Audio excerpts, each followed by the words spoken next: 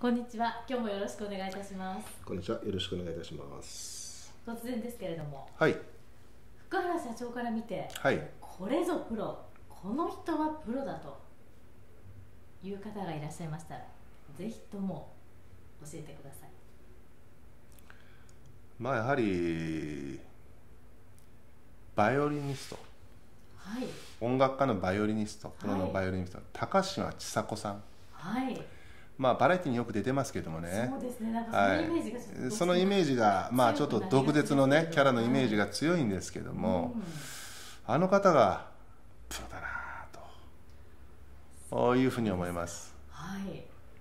まあやはりね、あのーまあ一度うん見に行ったことがあるんですけども、はい。あのーまあたまたまに。うんでその時にね、えー全く違うんですよ全く違う。全くもうバイオリンしてる時の全然違いますやはりねはい。あのーまあ、バラエティの時の雰囲気とは全く違って、はい。えーまあ、危機迫ると言いますかね気迫と言いますかね気持ちと言いますかねそういったところがね、えー常にやはりねこうメロディーに乗ってる、感じでね、えーいろんなバイオニストさんのね、えー方いると思うんですけどもねそうですね。たくはいさんいらっしゃいますね。やはりそこにねどれだけやっぱり気持ちを乗せて届けるかということがね、えー重要だと思うんですけどもやはり興味がないえー僕の気持ちをね、えーバイオリンは打つというのはやっぱりプロだなとおやっぱり思いましたそう。ですね。なかなかちょっとこう、クラシックっていうとどうしても敷居が高い感じうんそうですそうですそうですねそうでなかなかちょっとこうコンサートに行くっていうのもうん。ちょっと足がねそうです。なかなか遠のいてしまいますけそうです。でもなぜだろうなと思った時にね、うん。やはりね、えーああいう番組に出てるというのはねテレビに出てるというのは啓蒙活動だと思うんですよね、えーうん。そのやはりね発信力、うん。全然興味のない人に目を向けてもらう、うそういう日々のね発信する努力をね、えーテレビを通じてやられてると思うんですよねで少しでもやはりね興味のない方に、えー目を向けてもらう、うん。まあ、僕もその目を向けた一人なんですけども、あのやはりなぜこういうね、えーエネルギーがうん。この方にあるのかなとね。一体どんなバイオリンを弾くんだろうなというところからあー聞いたわけですから。でその中でね、えーやはり違うなと何が違うかっていうのはこれは難しいんですけどもね。はい。そういうバイオリンの音色にねやはりこうその人の、まあ、哲学といいますかね、うん。そういうものがね吹き込まれてね届届けてるんじゃないのかなと。ただこう音を奏でるだけではなくではない、その気持ち、うん気持ちだったり。哲学。哲学だったり、まあ、その人なりのねうん。プロの哲学だったり、うん。まあ、そういうのがね込められて届けてるからね、うんえー全く興味ない僕でもね、えー興味を持ったと。何かこう心に響くそういうことです。動かされるものがあったんですね。そういうことです。ですからやはりねプロというのははい。興味がある方にえー発信するっていうことは、うん。まあ比較的難しいことではないと思うんですよね。そうですね。もともと興味のある方そうです。でもそれでは裾野が広がりませんしね、うん。フィールドは大きくなりませんのでね。はい。やはりいかに興味のない方にもねうん。届けるのか。うんこれすごく重要な課題だと思うんですよ。簡単なことではないですよねものすごくやはりあの発信するる力というのはうん。やはりエネルギーがいりますしね、うん。えーやはりプレッシャーもかかります。はい。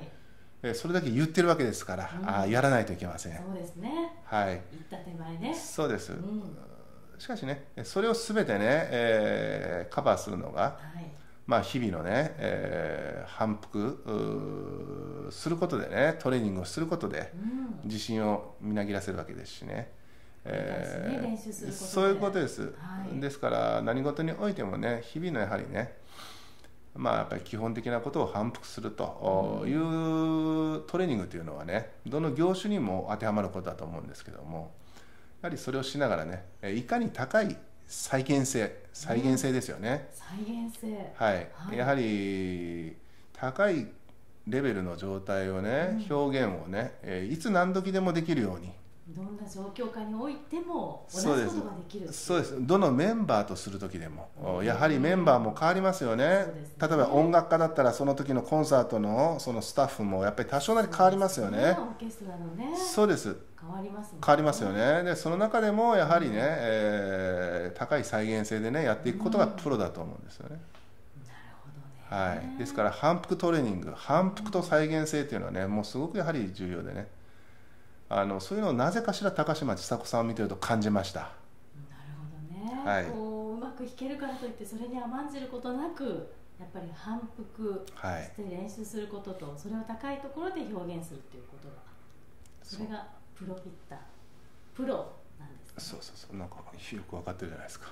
ようやく ようやく。なんだかこの回においてはい。分かったような気がします。そうですか。はい。あーありがたいですね。楽しみですね。またあのバイオリンをね聞きたいって思う方が聞きたいですよ。と素晴らしいですよ。やはりあのー高島さんのね、うん。あのーコミカルなトーク力と。そうですね。でまたねギャップがね、うん。ものすごくありますのでね、えーでもやはりね聞く人をねうん。えーしびれさせるね、えーそういう音を奏でますから。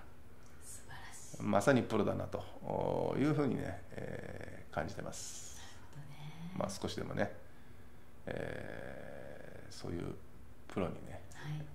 近づけるようにね、ねえーまあ、我々も日々反復してそうですね。高い再現性を。そうですね。はい。と思ってます素晴らしいバイオリンの音のように素晴らしい音色を奏でていただいたような気がします。そうですか。はい。はい。今日もどうもありがとうございました。こちらこそありがとうございました。またよろしくお願いいたします、はいよろしくお願いします。ありがとうございました。ありがとうございます